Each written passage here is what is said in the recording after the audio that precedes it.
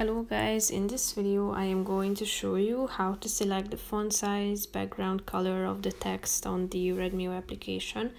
But first I just want to mention, don't forget to subscribe to my channel because at 10,000 subscribers I am going to show you my whole YouTube revenue statistics and growth strategy, how to make money online. So let's jump into it.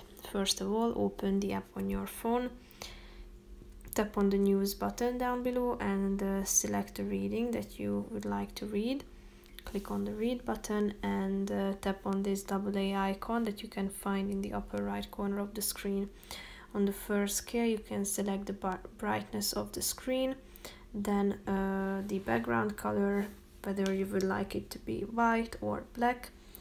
And you can also uh, change the font size, make it bigger by tapping on the bigger A or make it smaller by tapping on the smaller A icon down below.